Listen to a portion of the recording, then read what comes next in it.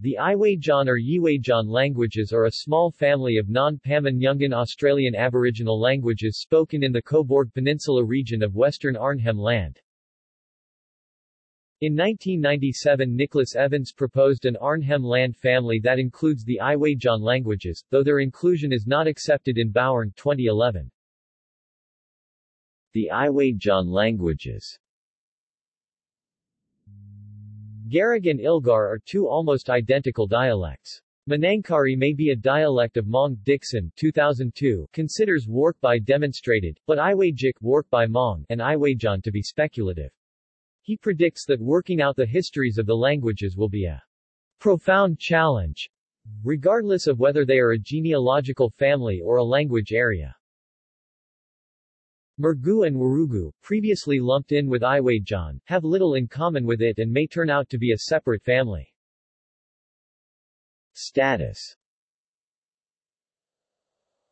Iwaidja is spoken by about 150 people in the community of Minjilang on Croker Island, alongside English, Kunwinjku and Maung. Maung is primarily spoken in the community of Warruwi on Goulburn Island, and it too has about 150 speakers. Both languages are still being learnt by children, all the other Iwaidjan languages are close to extinction. In 1998, Amurdak had three remaining speakers, Garig and Ilgar three speakers between them. Phonology The Iwaidjan languages have similar phoneme inventories. Exceptions are noted below the tables. Vowels in addition to these, Maung also has e and o, mostly in loanwords from Kunwinjku and Kunbarlang. Consonants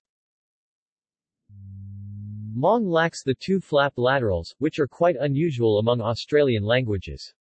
Also unusual is the velar approximant, which is an areal feature shared with Tiwi and Kunbarlang. Relationships with other languages The vocabularies of all the Iwaidjan languages contain loanwords from Makassarese and Malay, both Malayo-Polynesian languages from Indonesia. Iwaidja and Maung have also borrowed heavily from Kunwinjku, another Australian language of the Gunwinyguan family. While the Iwaidjan languages share a number of features with other non-Pamanyungan language families, it is uncertain which they are closest related to. Ross has proposed that they form part of an Arnhem land family. Notes. References